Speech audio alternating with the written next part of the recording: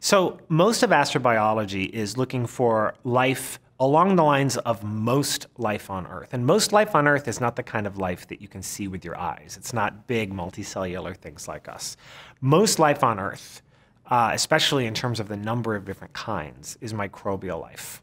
And so we have an expectation, since most of Earth's history, life was only microbial, that life in the rest of the galaxy, most of it will be mostly microbial, and we will recognize it by its signatures in the atmospheres of planets, or possibly in the solar system, actually finding an image of that microbe in the water in Enceladus or something like that.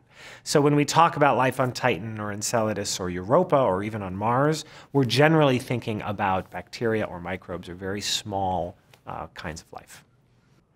So if we were to find microbes on Enceladus. It would just answer so many, so many questions. So for one thing, if it came from a different biogenesis, if it came, uh, if it arose naturally there on Enceladus, then the kind of ways that it it evolves or the ways that it passes genetic information on from one generation to the next might be completely different than the way it happens on Earth. Or it could be the same way. They might use DNA for all we know.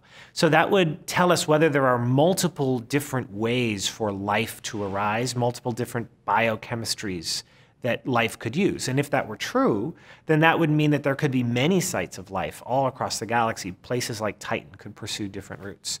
Uh, but if it were the same, that would suggest that you really do need Earth-like conditions to get the sorts of biochemistries we use. So it would tell us a lot about the prevalence of life throughout the galaxy.